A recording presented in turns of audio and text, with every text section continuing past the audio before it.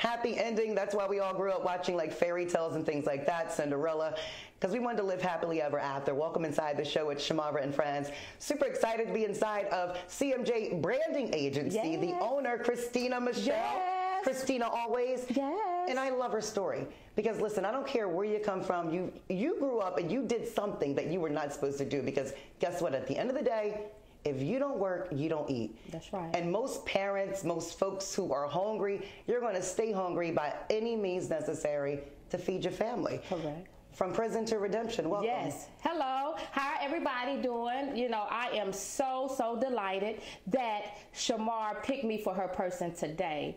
Like she said, prison to redemption. I have a documentary coming out very very soon, but it's about my life. It's about the struggles I've been through, me leaving my kids. Back up. I'm Christina. I'm from Hopkins, South Carolina.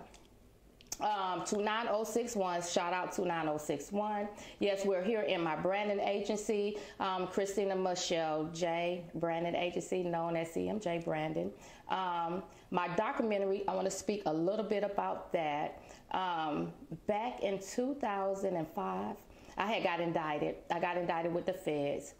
Um, And stop right there. Okay. Because when you say indicted, you know, um, everybody is a man in their own hood. Shout out to DMX, hate to quote rappers, but you know, that's how I grew up. yes. When, when you say you got indicted by the feds, what does that mean? Were you on a corner selling drugs? I'm assuming it was drug related. It was drug related. Um, when I got indicted, it was already a case. It was already 21 people on the indictment. I was not on the indictment until after the fact. But, um, you know, when you have so much love and try to help so many people, you know, you get burned in the end. And so that what it was with me. You know, I'm not the one to say, "Oh, I didn't do nothing." You know, I shouldn't have been on that case. You know, yes, I did what I did. I, you know, I was out here um, selling drugs and taking care of a lot of people. I was still a business owner. But that's code in the streets. Yes. It's like you go down, you go down by yourself. It's like it's not no, it's a no snitching kind of system. You know what I mean? Yes. Totally. So is that what you were guarding Yes. and protecting that? Yes. Were you a mother prior to being Oh. incarcerated? Yes. Very sensitive. Did you think about your children? Uh-huh. You have four children. Right. Did you think about them before you were locked up? How many years were you locked up? Uh, well, I had got sentenced to 262 months, 21 years, 10 months, but I did 151 months.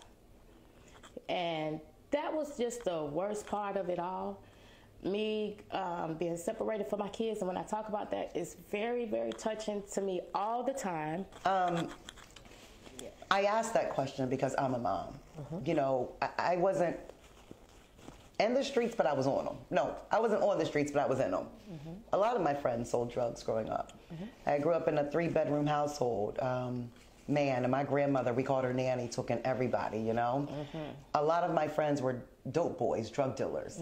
And a lot of them dressed alike. They all had on blue jeans and white t shirts. Right. And they all knew I didn't really have a, a bedroom in the house. So, oh, just knock on the, the window or something. She right there, she's sleeping on the floor. And I would be sleeping on the floor. Uh, you know, I had loyalty to them. You know, they protected me when I was out in the, outside on that block. You know, mm-hmm. they knock on my door, come on in. While the cops running around the corner and all that stuff. Right. I understand that, and sometimes you do what you got to do to protect what's yours and what you love. Right, And at that time, you still needed to eat. So mm-hmm. this story is about prison to redemption. How far will you go to protect your family and the ones that you love Right. to feed them? Would you go as far as to being away from them for years at a time? And you know what? A lot of times we don't think like that. You know, we be in the right now. In the right now. Okay, this is what we have to do right now. You mm-hmm. know, and I was that person. I was that right now person. You come to me, you know, and, and you needed help, I'm going to help you. Mm-hmm. Not thinking about the reaper. I didn't think about none of that. None of that. You know what I'm saying? And everybody knew that I love my kids. Everybody knew, even like my closest peoples.